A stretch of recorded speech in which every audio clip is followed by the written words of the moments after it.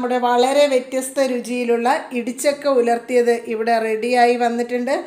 നല്ല ടേസ്റ്റി ആയിട്ടുള്ള ഒരു വിഭവമാണിത്. ചോറിന്റെയൊക്കെ ഒപ്പം ഈ ഒരൊറ്റ കറി മാത്രം മതി നമുക്ക് വയറ് നിറച്ച് ചോറുണ്ണാൻ. അപ്പം നിങ്ങളെല്ലാവരും ഇതൊന്ന് ട്രൈ ചെയ്ത് നോക്കണേ. ഹായ് ഫ്രണ്ട്സ് അന്ന ഫുഡ്സിന്റെ പുതിയ റെസിപ്പിയിലേക്ക് എല്ലാവർക്കും സ്വാഗതം. നമ്മളിന്നിവിടെ തയ്യാറാക്കാൻ പോകുന്നത് ഇടിച്ചക്ക ഉലർത്തിയതാണ്. ഇടിച്ചക്ക ഉലർത്തിയ തയ്യാറാക്കുന്നതിന് വേണ്ടി ഇടിച്ചക്ക ചെറിയ കഷ്ണങ്ങളായി മുറിച്ചിട്ട് ഉപ്പും മഞ്ഞപ്പൊടിയിട്ട് വേവിച്ചെടുത്തതാണിത്. വലിയ ഒരു ഇടിച്ചക്കയുടെ പകുതിയാണ് എടുത്തിരിക്കുന്നത്. ഇനി ഇതിനെ ഇങ്ങനെയൊന്ന് പ്രസ് ചെയ്ത് കൊടുക്കുക ഇടിച്ചക്കയെല്ലാം നമ്മൾ നല്ലതുപോലെ ഇങ്ങനെ പ്രസ് ചെയ്തെടുത്തിട്ടുണ്ട്. ഒരുപാട് അമക്കി എടുക്കണ്ട. ചെറിയ രീതിയിൽ പ്രസ് ചെയ്തെടുത്തിട്ടുണ്ട്. ഇനി നമുക്ക് ഇടിച്ചക്ക ഉലർത്തിയത് തയ്യാറാക്കാം. ഇടിച്ചക്ക ഉലർത്തിയ തയ്യാറാക്കുന്നതിന് വേണ്ടി ഒരു ചട്ടി വെച്ച് കൊടുക്കാം. അതിലേക്ക് കുറച്ച് വെളിച്ചെണ്ണ ഒഴിച്ചു കൊടുക്കാം. എണ്ണ ചൂടായി വന്നിട്ടുണ്ട്. ഇതിലേക്ക് അരമുറി സവാള മുറിച്ചതും ആറ് പച്ചമുളക് നടുവേ കയറിയതും കൂടെ ചേർത്ത് കൊടുക്കാം. ജസ്റ്റ് ഒന്ന് മിക്സ് ചെയ്ത് കൊടുക്കാം. ഇനി ഇതിലേക്ക് പതിനഞ്ച് ചെറിയുള്ളി മുറിച്ചതും കൂടെ ചേർത്ത് കൊടുക്കാം.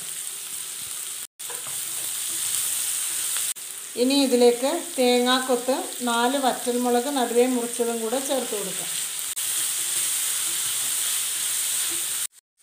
ഇനി ഇതിലേക്ക് ഒരു ചെറിയ കഷ്ണം ഇഞ്ചി മുറിച്ചതും പതിനഞ്ച് വെളുത്തുള്ളി പൊളിച്ചതും കൂടെ ചേർത്ത് കൊടുക്കാം. സവാളയൊക്കെ ചെറുതായിട്ട് വാടി വന്നിട്ടുണ്ട്. ഇനി ഇതിലേക്ക് നമുക്ക് പൊടികൾ ചേർത്ത് കൊടുക്കാം. ഇതിലേക്ക് ഒരു സ്പൂൺ മുളക് പൊടി ചേർത്ത് കൊടുക്കാം. കാൽ ടീസ്പൂൺ മഞ്ഞൾപ്പൊടി ഒരു സ്പൂൺ ഇറച്ചി മസാല സ്പൂൺ പെരിഞ്ജീരകപ്പൊടി കാൽ ടീസ്പൂൺ ഗരം മസാല. പൊടികളുടെ പച്ചമണം പോകുന്നിടം വരെ ഇതെല്ലാം നല്ലതുപോലെ ഒന്ന് വഴറ്റി കൊടുക്കാം. കുറച്ച് കറിവേപ്പില ചേർത്ത് കൊടുക്കാം. ഇതിലേക്ക് കുറച്ച് ഉപ്പിട്ട് കൊടുക്കാം. ഇടിച്ചക്ക വേവിച്ചെടുത്തപ്പോൾ നമ്മൾ ഉപ്പിട്ടിട്ടാണ് വേവിച്ചെടുത്തത്.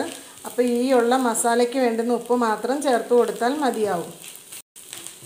പൊടികളുടെയൊക്കെ പച്ചമണം പോയി പൊടിയൊക്കെ നല്ലതുപോലെ മൂത്ത് വന്നിട്ടുണ്ട്. ഇനി ഇതിലേക്ക് നമ്മൾ വേവിച്ച് വെച്ചിരിക്കുന്ന ഇടിച്ചക്ക ചേർത്ത് കൊടുക്കാം.